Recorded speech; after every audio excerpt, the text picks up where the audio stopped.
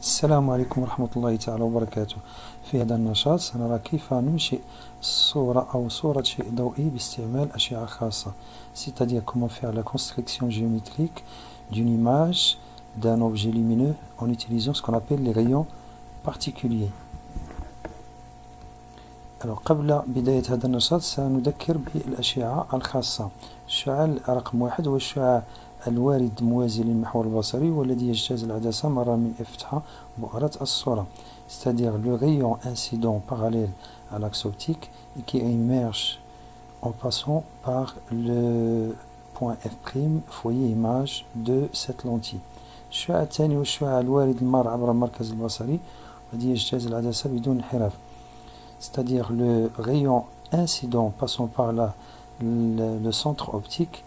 qui ne dévie pas sa tra trajectoire الشعاع الثالث والشعاع الوارد المار عبر F بؤرة الشيء والذي يجتاز العدسة موازي للمحور البصري c'est-à-dire le rayon incident passant par F le foyer image de cette lentille et qui euh, émerge de façon parallèle à son axe optique bon نبدأ على بركة الله بالوضعية أو الوضع الأول ونلاحظ نمثل الشيء بسهم. دائما نمثل أي شيء كيف ما كان شكله بسهم. إذا on représente l'objet par une flèche. وهذا السهم يمكن تحديد أبعاده. لاحظوا؟ يمكن تحديد الأبعاد ديالو. باستعمال هذه النقطة. ولدينا هنا سلم. سلم يحدد أو من خلاله يمكن أن نحدد أبعاد الأشياء. فمربعين يمثلان عشرة سنتيمتر عموديا أو أفقيا. إذا فطول هذا الشيء حسب هذا السلم هو عشرة سنتيمتر. في الوضعية الأولى سنأخذ بعد الشيء أكبر من ضعف البعد البؤري. البعد البؤري هنا يساوي حسب السلم عشرين سنتيمتر. La distance focale est égale à 20 cm. بعد الشيء la distance objet lentille تساوي في هذه الحالة هذه 50 سنتيمتر إذا فهي أكبر من ضعف البعد البؤري la distance objet lentille est égale à 50 سنتيمتر سي آه آه وهي مسافة أكبر من ضعف البعد. البؤري est égale à deux fois la distance focale de cette lentille. Alors في هذه الوضعية هذه لاحظوا جميع الأشعة الخاصة جميعها تنطلق من نفس النقطة الضوئية بواحد وتتقاطع جميعها في نفس النقطة اللي هي الصورة النقطية ب2 المقابلة للنقطة الضوئية ب. وبالتالي ف لا داعي لاستعمال الأشعة الثلاث الخاصة فيكفي أن نستعمل شعاعين خاصين فقط لأن جميعها تتقاطع في نفس النقطة. إذا يمكن أن نستعمل شعاع رقم واحد وشعاع رقم اثنان فقط أو الشعاع رقم واحد والشعاع رقم ثلاثة فقط أو الشعاع رقم اثنان ورقم ثلاثة فقط. سنحصل على نفس النتيجة. فمن خلال نتائج هذا الإنشاء الهندسي نلاحظ أن الصورة المحصلة عليه هي دائما صورة حقيقية مقلوبة بالنسبة للشيء. C'est une image inversée image réelle inversée par rapport à l'objet. ولكن أبعاد هذه الصورة فهي أصغر من أبعاد الشيء في هذه الوضعية. Les dimensions de l'image est inférieure à celle de l'objet. إذا لاحظوا من خلال السلم يمكن أن نرى فعلا على أن بعد الشيء أصغر من عفوا بعد الصورة. بالنسبة للعدسة أصغر من بعد الشيء وطول الصورة أصغر من طول الشيء بحيث أن طول الصورة هنا يساوي خمسة سنتيمتر حسب السلم.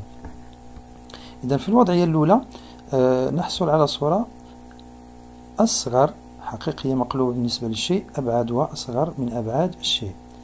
Une image réelle inversée par rapport à l'objet, ses dimensions sont inférieures à celles de l'objet. الآن سنرى الوضعية الثانية. سنقوم بتقريب الشيء بحيث تصبح المسافة بينه هذه الوضعية الثانية تساوي ضعف البعد البؤري ديالو. إذا نحاول أن نضع الشيء على نفس بنفس الأبعاد السابقة.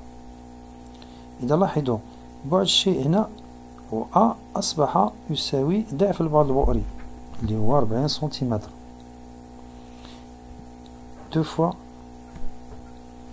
la distance focale في هذه الحالة. الصورة المحصل عليها هي الصورة دائما حقيقية مقلوبة بالنسبة للشيء وأبعادها تساوي أبعاد الشيء. donc عندما نأخذ بعد الشيء يساوي ضعف البعد البؤري la distance objet lentille égale deux fois la distance focale فالصورة المحصلة عليها تكون بنفس أبعاد الشيء في كل شيء من حيث البعد عن العدسة ومن حيث الطول. Et donc l'image qu'on obtient dans ce cas c'est une image réelle inversée par rapport à l'objet mais qui a les mêmes dimensions par rapport à l'objet. لها نفس أبعاد الشيء. الوضعية الثالثة نقوم بتقريب الشيء أكثر وبنفس الأبعاد حيث تصبح المسافة بينه وبين العدسة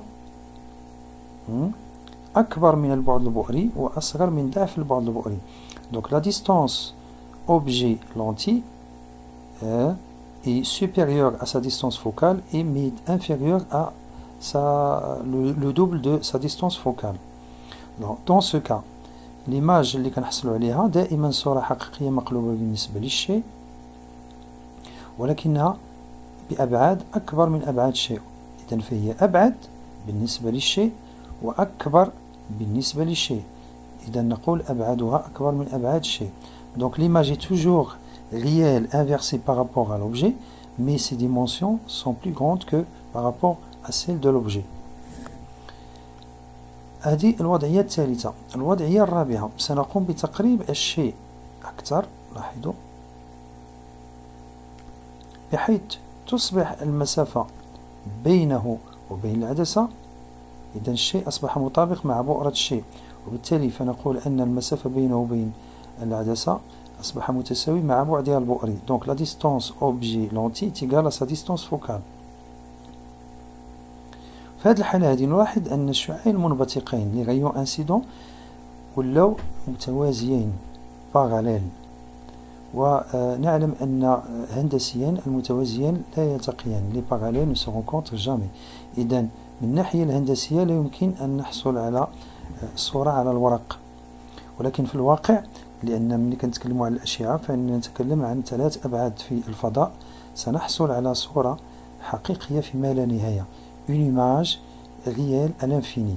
وستكون هي أكبر وأبعد صورة حقيقية مقلوبة بالنسبة للشيء donc une image à l'infini ça sera la plus grande euh, image réelle inversée par rapport à l'objet.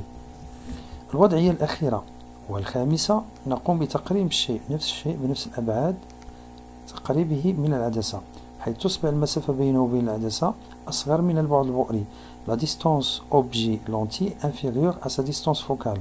إن المسافة أصبحت هي 15 سنتيمتر بين الشيء والعدسة بينما البعد البؤري يساوي 20 سنتيمتر.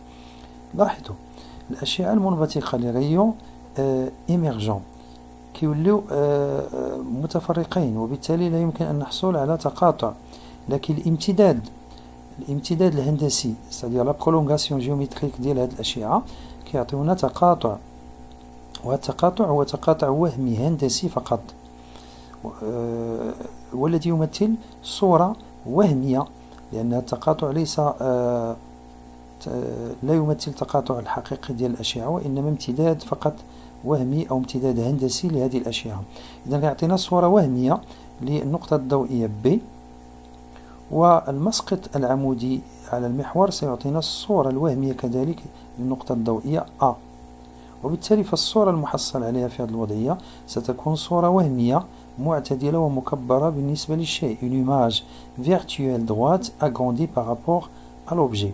هذه الصورة بما أنها وهمية فلن تظهر على الشاشة ولا يمكن أن نراها بالعين المجردة donc c'est une image qu'on peut pas voir sur l'écran et qu'on peut pas voir à l'œil nu. كيف نرى هذه الصورة؟ لرؤية هذه الصورة يجب أن نراها عبر العدسة. وذلك بوضع العين من جهة بؤرة الصورة.